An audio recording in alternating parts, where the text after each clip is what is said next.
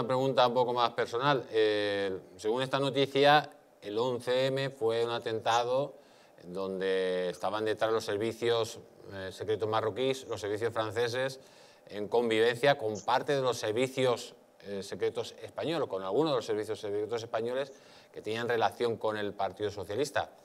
¿Esa sería la versión que sacaría Marruecos a la luz pública para que lo supiera toda la opinión pública de la verdad del 11M que se ha tratado de ocultar sobre montañas y montañas de, bueno, de medias verdades? Realmente lo que se sacaría a la luz sería los eh, fallos de inteligencia, los fallos de seguridad en los que se habían previsto previamente ya, se habían conocido previamente, que había unas amenazas, unos riesgos, unos problemas con, ciertos eh, grupos, eh, grupúsculos de, de, terroristas. Y ese sería el problema real que tendría, tendría España.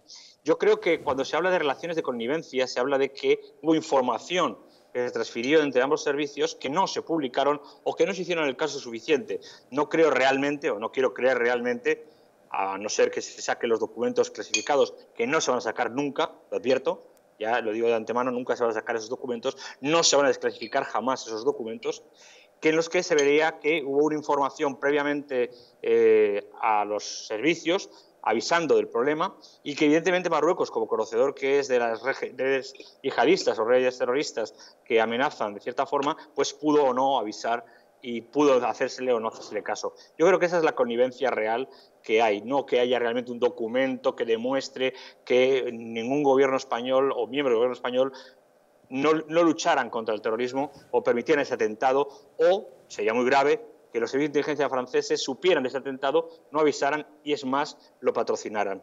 Pero para eso hay que desclasificar los documentos que no se pueden desclasificar porque ningún gobierno español lo ha hecho ni les interesa hacerlo. Don Fernando Cocho, muchísimas gracias por haber estado aquí en el Mundo al Rojo. Un fuerte abrazo, cuídese mucho. Gracias, un abrazo.